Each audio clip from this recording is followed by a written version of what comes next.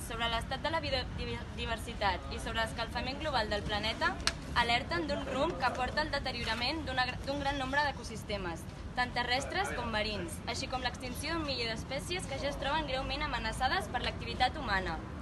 Aquestes últimes setmanes hem vist com cremava l'Amazones, el pulmó del nostre planeta. Però ja fa temps que els boscos cremen, les glaceres es fonen i dotzenes d'espècies s'extingeixen dia a dia. Fa 50 anys que la comunitat científica adverteix de l'esgotament dels recursos naturals i l'avanç cap a un canvi climàtic irreversible provocat per l'activitat humana i perillós per la supervivència de l'espècie. Actualment la situació és dramàtica i la vida a la Terra, tal com la, tal com la coneixem, està en joc. Els estudis afirmen que tenim fins al 2030 per avançar-nos als canvis climàtics catastròfics per la nostra espècie.